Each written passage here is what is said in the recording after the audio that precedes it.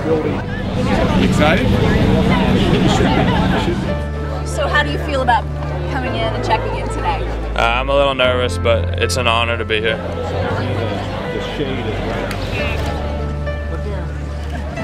I have a good idea what's coming, but it's not like the real thing though, so we'll see what happens. But I'm excited. What, how are you feeling today?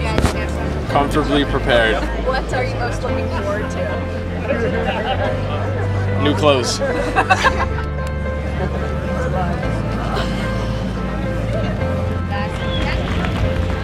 Melissa Dildine. I'm from Louisiana and I'm super excited but super nervous at the same time and I'm just ready to get in there and start plebe summer.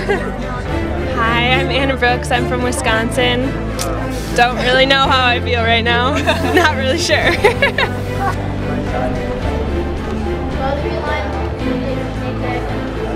Last name. Sir Darren. Is it Darren? he has wanted to do this for a while, so you know his dream sort of came true. Yeah, I would just echo. We're very, uh, very proud of him and uh, excited that he's heading off on this great adventure that's going to be his uh, uh career at the Naval Academy.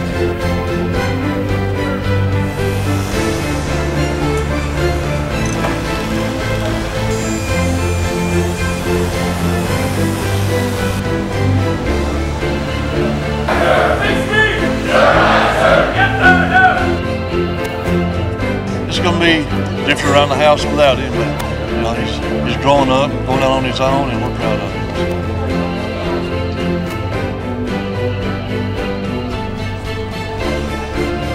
I'm I'm very proud of her. I wouldn't be able to do it, so I'm honored to say that she's my sister going into the academy.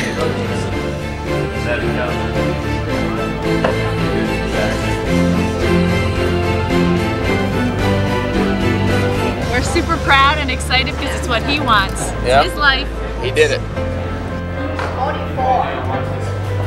I went through it 28 years ago, um, but my son Michael here, he just went through it and uh, four years ago. So um, I'm, I'm familiar with the process and I know what's going to happen, but you know, you're, you're fighting back that, that sadness. You, you miss having your, your son around. The small brag. He has learned some of the things on his own, obviously, and that's what Plebe Summer does. It teaches you to think for yourself and uh, think differently.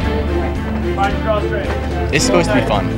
Uh, no one ever thinks of Plebe Summer as being fun, but it's probably going to be one of the most fun that they're going to have you know, four years that they're here. No one's forcing you to do this. This is completely voluntary.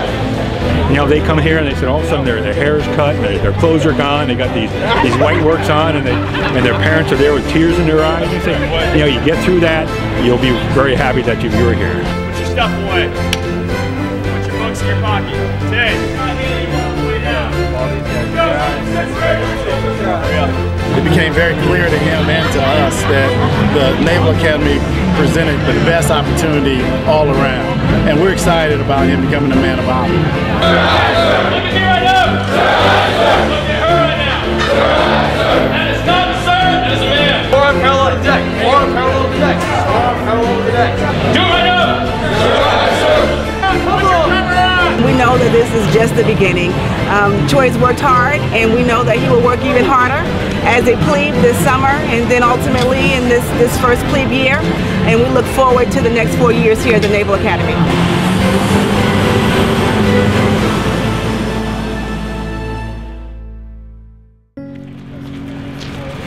First of all, let me just say congratulations to the parents and the families. Uh, I know this is a family affair in terms of getting your young men and women here to this day.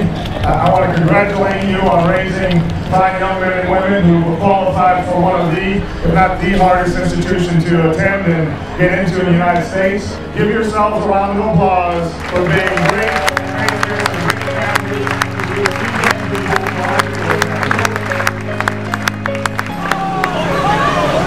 it's all a blur on I Day. Uh, so we commiserate with the fact that they have the deer in the headlights look and have no idea what is happening to them or what's going to happen to them in the next six weeks.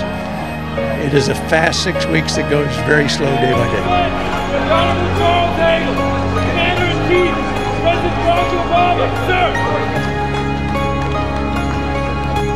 They come in still the children of their parents.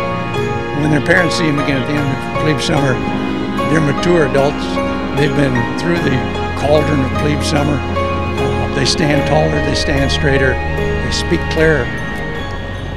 It's a, it's a wonderful thing to know what they're going through. Midshipman candidates, rise. Having been appointed a midshipman in the United States Navy, do you swear that you will support and defend the Constitution of the United States against all enemies, foreign and domestic? That you will bear true faith and allegiance to the same? That you take this obligation freely, without any mental reservation or purpose of evasion? And that you will well and faithfully discharge the duties of the office on which you are about to offer?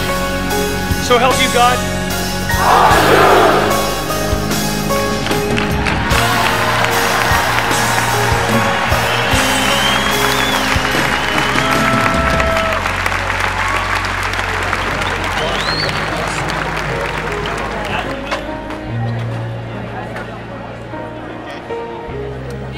Happy? Got all the new stuff he was wishing for. Oh yeah. I don't even know what to say right now. Like, I just know he's going to do really great and he's going to enjoy himself. Yes, ma'am. It was a fun, uh, good experience, and uh, can't wait till tomorrow.